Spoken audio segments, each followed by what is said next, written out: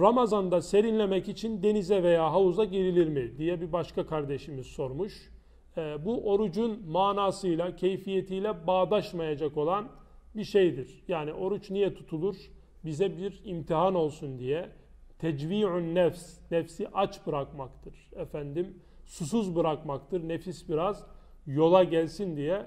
O açıdan e, Ramazan günü içerisinde tam da böyle aç kalan, susuz kalan, serinlemek isteyen nefsimizin e, isteyeceği bir tarzda denize veyahut da işte soğuk duşa girerek sırf e, serinleme maksadıyla birlikte e, böyle bir suyun altına girmek veya suya girmek mekruhtur.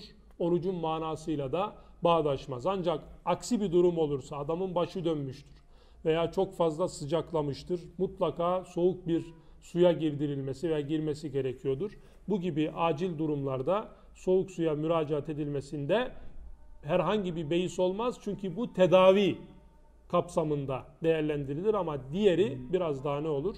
Keyfi olur.